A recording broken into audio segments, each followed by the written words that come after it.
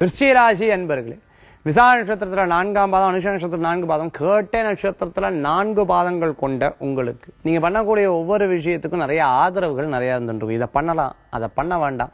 இது சரி அது சரியில்லை அப்படின்னு கூட இருக்கிறவா நிறைய உங்களுக்கு வழிவகுக்கக்கூடிய வாய்ப்புகள் நிறையா இருந்துருக்கு சரி நிறையா பேர்த்தோட பேச்சை கேட்காம ஒருத்தருடைய பேச்சு தான் எனக்கு கரெக்டாக இருக்குன்னு சொல்லி அவளுடைய பேச்சை கேட்டு சரி வர செய்யும் பொழுது காரிய வெற்றியும் நடந்துருக்கும் இவா பண்ணா அதிர்ஷ்டமாக இருக்கும் இது பண்ணா அதிர்ஷ்டமாக இருக்காதுன்னு யோசித்து செயல்படக்கூடிய வாய்ப்புகள் நிறையா இருந்துருக்கு பணவரவுகள் கூடி வரும். மேலும் வியாபார விஷயங்களில் நல்ல முன்னேற்றம் காணக்கூடியதாக இருந்துருக்கும் வெளியூர் பிரயாணங்கள் வெற்றி எதுவும் குழந்தைகள் மூலமான பெரியவங்களுக்கும் பெரியவங்க மூலமான குழந்தைகளுக்கும் நல்ல பேர் கிடைக்கிறதுக்கு உண்டான தன்மைகள் நிறைய இருந்து வந்துட்டுருக்கு புதிய தொழிலை பற்றி மனசுல சிந்திப்பீங்க. அதுக்குண்டான முதலீடு நண்பர்கள்ட்ட பேசி இதை பண்ணலாமா வேண்டாமா?